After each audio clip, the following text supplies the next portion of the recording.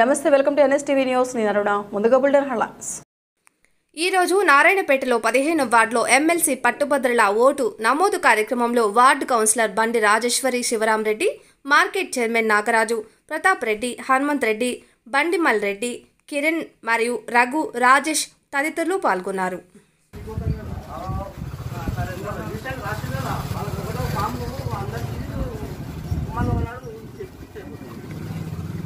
Sudah dia malu. Hah? Oh, ini aku mau ganti apa?